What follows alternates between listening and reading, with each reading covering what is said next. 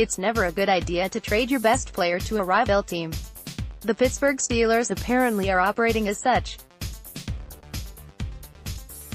The Steelers will listen to trade offers from 27 NFL clubs for wide receiver Antonio Brown, the MMQB's Albert Breer reported Thursday.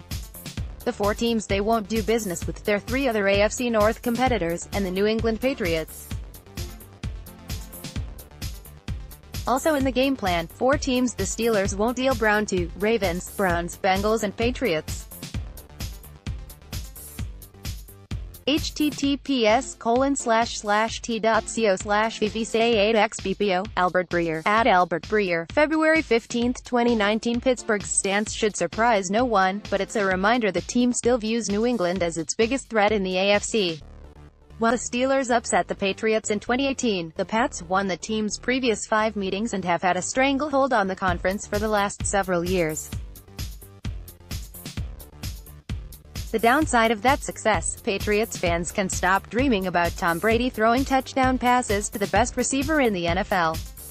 New England spending big on Brown seemed like a long shot anyway, but the 30-year-old apparently is getting serious about his trade request. He plans to meet with Steelers owner Art Rooney to, to iron things out, per NFL media's Ian Rapoport.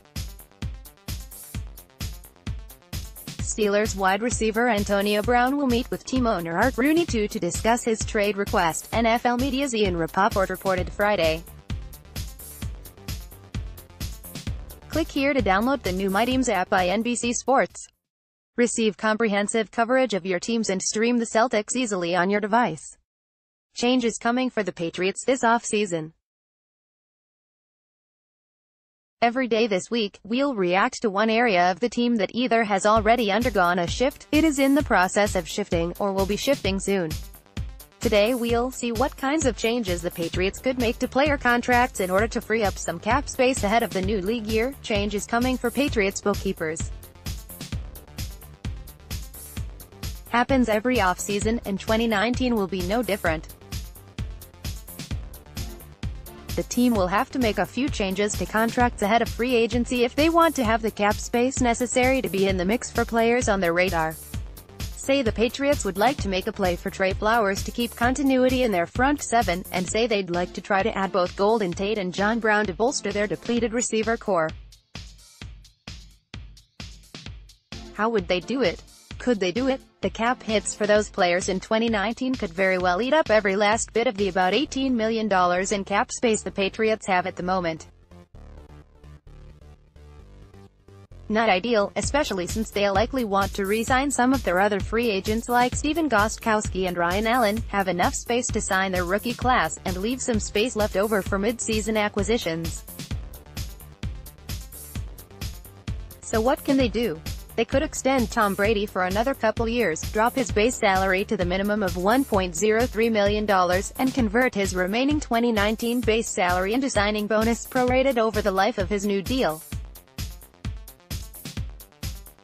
The result? He gets a raise, and the Patriots get a few million in cap space, not a bad way to start. Then the Patriots can work their way down the roster, and there's more cap space to be had. For instance, Dwayne Allen was a key to the Patriots' Super Bowl victory, allowing them to get two tight ends on the field to pick apart the Rams, but with a $7.3 million cap hit for 2019, he's an obvious candidate for a contract restructure or release. Curran, how do you go about replacing the GOAT? The Patriots will have decisions to make on role players such as Adrian Clayborn and Elandon Roberts. If they're looking for more cap relief, they could free up several more million by moving on. Retirements will impact the equation here, too. If those are coming, they could mean millions more in cap space.